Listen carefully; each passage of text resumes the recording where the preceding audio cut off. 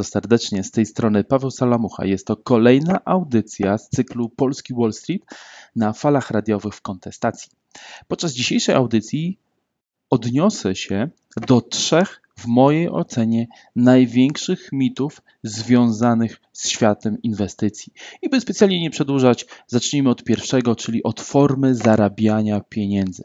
Czyli Często w obserwacji ludzi, którzy zdecydowali się zacząć inwestować na giełdzie, zauważyłem, że zazwyczaj ta droga wygląda w ten sposób, że albo po godzinach pracy coś tam staramy się wykreować, i to jest w mojej ocenie bardzo fajna, bardzo dobra forma podjęcia tej próby i w zasadzie sprawdzenia się w świecie inwestycji, tak, już oczywiście poprzedzając to odpowiednią dozą edukacji, żeby wiedzieć nawet jeśli popełnia się błąd, to żeby widzieć źródło albo miejsce tego błędu, ale to jest w mojej ocenie bardzo dobre podejście. Aczkolwiek spotykam się również z takim podejściem, w którym człowiek zdecydował się zarobić dużo pieniędzy w obecnym zawodzie, po, po czym zdecydował przestać pracować i przejść tylko do świata inwestycji. I zazwyczaj wygląda to w ten sposób, że wymienia sobie biurko w jakiejś korporacji, w jakiejś firmie, większej bądź mniejszej, na mówiąc otwarcie, kanapę w domu i przesiadywanie godzin przed komputerem. Widzicie, często ludzie, którzy zdecydowali się być inwestorami, omanieni są jakiegoś rodzaju marzeniami. Jest to, są to marzenia takie bardzo oczywiste, czyli o wolności czasowej, o wolności finansowej, o ewentualnym czasie dla rodziny, no i oczywiście przede wszystkim czasie na wycieczki i braku stresu. I po kilku pierwszych transakcjach okazuje się, że ta rzeczywistość jest zupełnie inna. Niestety bez odpowiedniego warsztatu, bo tak jak to podkreślam za każdym razem, nikt nie rodzi się z talentem do zarabiania pieniędzy na giełdzie. Ten zawód również się charakteryzuje odpowiednim zestawem cech, które są wymagane, żeby w nim funkcjonować. I tak osoba bez doświadczenia wymienia swoje krzesło w korporacji na kanapę w domu i co zostaje mu z marzeń? Zazwyczaj to wygląda w ten sposób, że gapi się w monitor po 8 do 12 godzin dziennie i ta subtelna różnica, na którą chciałbym w tym momencie zwrócić Waszą uwagę. Widzisz, idąc do pracy, założenie jest takie, że wymieniasz swój czas na pieniądze szefa. Tam jest prosty biznes idziesz do pracy, siedzisz swoje i nieważne, czy pracujesz, czy nie pracujesz, umowa jest taka, że za ten czas będziesz miał zapłacone. W przypadku giełdy jest zupełnie inaczej. Tu zarobkowanie jest zupełnie inne. Tu możesz wszystko świetnie wyliczyć, świetnie przygotować transakcje, ale jak ja to podkreślam, giełda to jest miejsce, w którym rządzą się prawa matematyki wymieszanej ze statystyką. I dlatego też możesz mieć wszystko pięknie dopracowane, że tak się wyrażę, dopięte pod ostatni guzik, a jednak nic z tej transakcji nie wyjdzie. Wielokrotnie miałem takie sytuacje, będąc inwestorem intraday, że siedziałem po trzy dni pilnując jakiejś pozycji, by ostatecznie wyjść na stracie.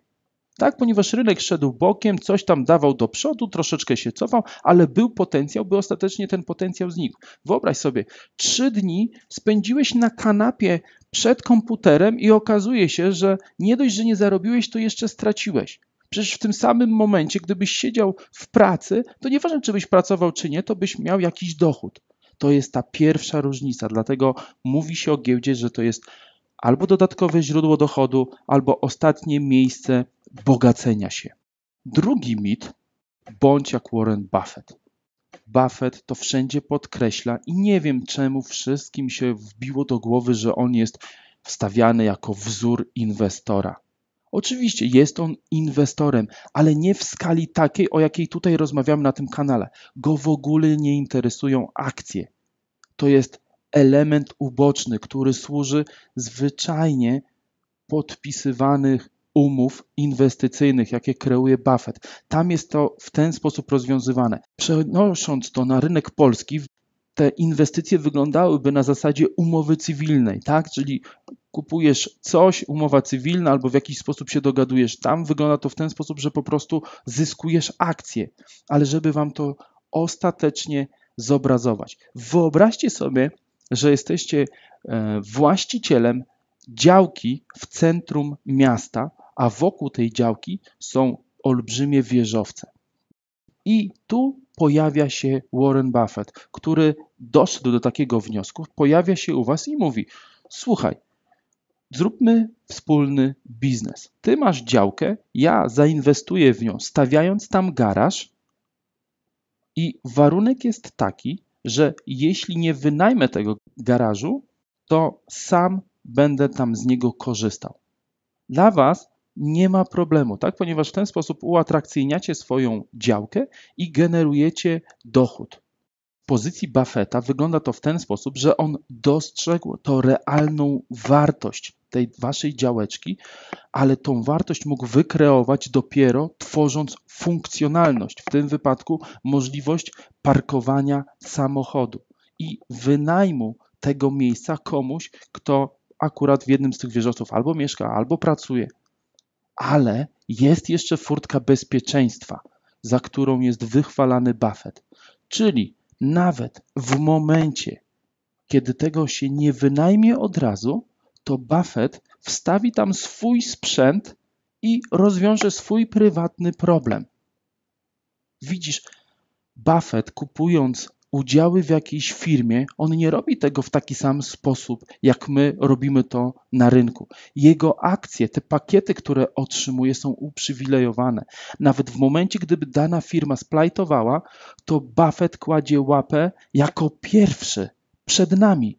On pierwszy bierze sobie to, co chce, czyli jakiś odpowiednik tej kwoty w nieruchomościach, w jakichś aktywach takich konkretnie namacalnych, a nie uwiarygadnianych umową czy obietnicą, jak wygląda to w przypadku rynku akcyjnego.